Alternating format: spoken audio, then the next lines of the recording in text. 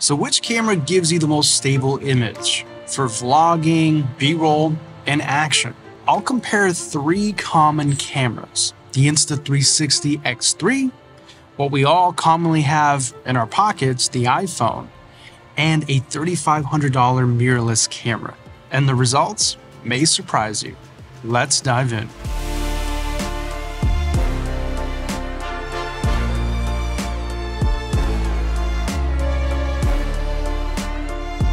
Okay, so which camera gives you the most stable image? If you're not interested in watching the entire video and all the tests, I highly recommend you do though. I think it was fun. But if you're just looking for an answer, I felt that the iPhone was really impressive, especially with action mode. The Insta360 also did a great job and really gave you interesting shots with that 360 mode. Some of you may be wondering why the Sony a7S III did so poorly. You got to remember the Sony a7S III is not a dedicated action camera. It's a storytelling camera. And although it has IBIS, the IBIS is very limited. I mean, just think about it.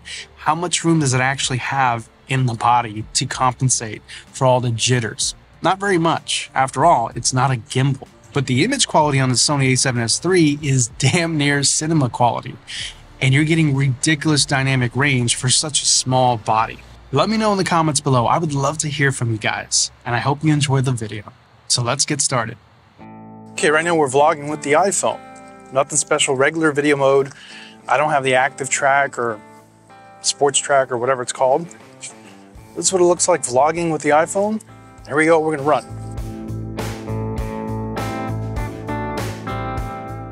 Okay, here's the same thing. Now we're still vlogging with the iPhone, but we're using the active track or sports track or whatever and we're gonna run.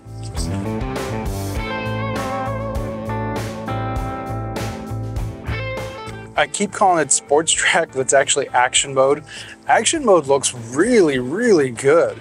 Now the resolution does go down, but still for what it is, for an object that's on you at all times, that's in your pocket, it's amazing. Okay, now we're using the Insta360. Nothing special here onboard mic. We're in 360 mode, and then you can use me mode, and then there's like super wide and FOV or FOV plus or whatever.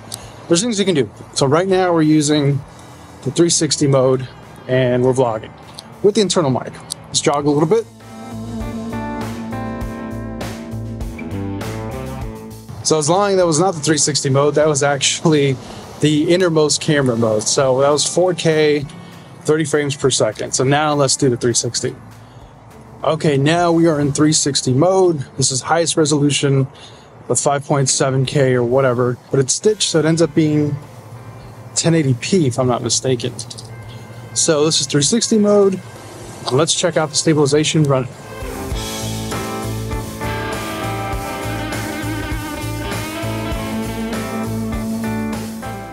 Okay, I'm gonna redo the innermost camera back in 4K.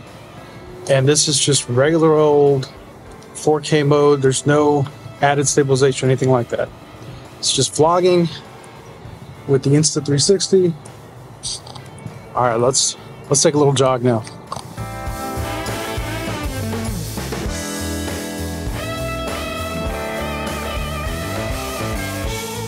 So the Insta360 is known for having good stabilization. I don't know. I mean, the iPhone was pretty impressive, so can't wait to check it out. Okay, now here's where the fun happens. This is Me Mode. Me Mode is known for being crazy, crazy cool. So, we're vlogging in Me Mode. Let's try running.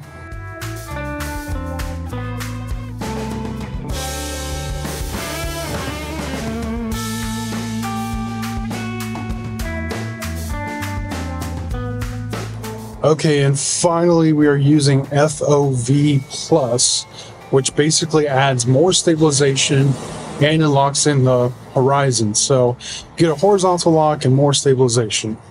And now we're gonna run.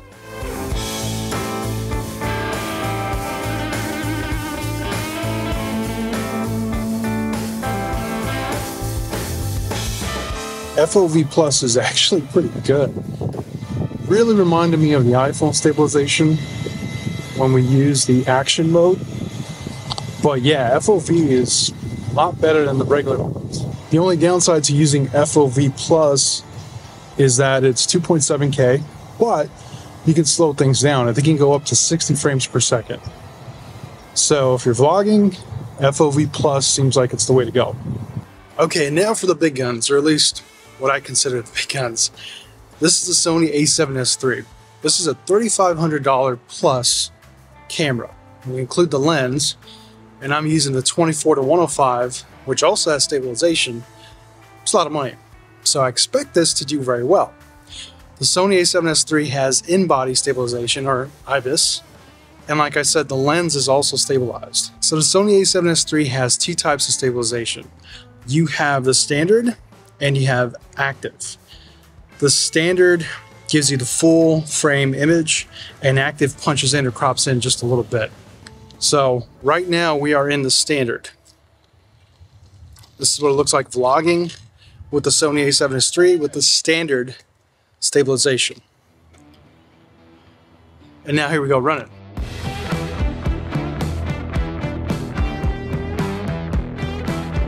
It's really hot today. I'm starting to get winded, but you can see that standard bounces around a lot.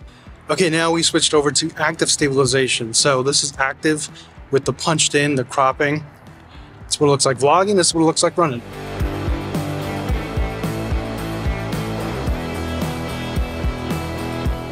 Now, so far we've done everything with the lens stabilization. So let's turn that off and let's see if that makes a big difference with the active stabilization, because that's supposed to be the best stabilization. So this is us vlogging, and this is us running.